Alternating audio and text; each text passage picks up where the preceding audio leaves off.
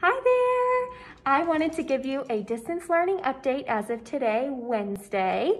So today I'm sending digitally three password sets. You're gonna have a password for ReadWorks, for Prodigy, and for our new social studies curriculum. Your password will look like this. It has a little animal and symbols as your password.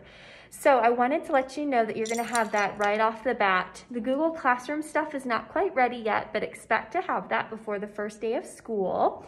As far as Chromebooks, I would like you to keep your password the same as it came, so please don't change the password on that school Chromebook.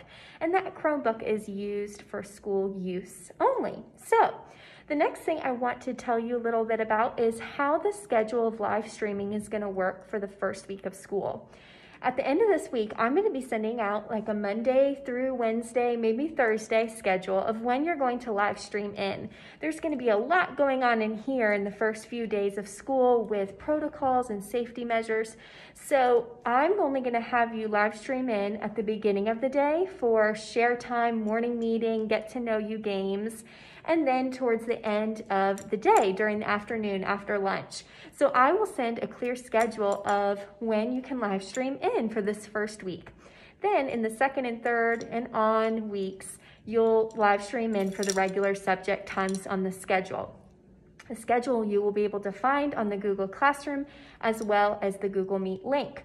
While we are doing safety in here and you're at home, you will be able to find some things on the Google Classroom that you can do. Prodigy, little assignments, little projects, flipping through your textbook and getting comfortable with it. All of those things you can work on while we are working on safety in the classroom.